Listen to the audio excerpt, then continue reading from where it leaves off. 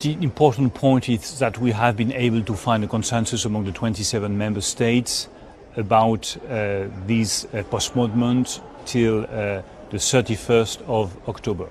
But now it's up to the British government to pave the way for a compromise and for a decision on the withdrawal agreement. Because we have to think about the future of the UK, of course. But we have first of all to think about the future of the EU. And the EU should move on. The EU should really take decisions to be stronger.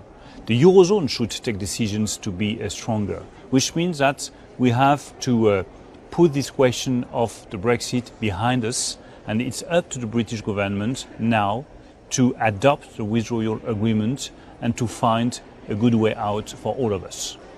Do you think Brexit has made the EU stronger or weaker? I hope that we will be stronger. I don't want the uh, UK to be uh, weaker. I, I, just want that um, the UK will be in a situation to uh, find an agreement on the withdrawal agreement. And now it's time for the EU to be stronger. We have to face the competition with both the US and China.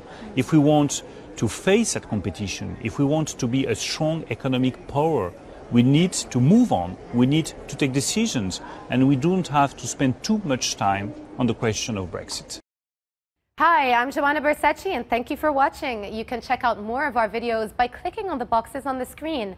And don't forget to subscribe to our channel for more from CNBC International. Thank you for watching.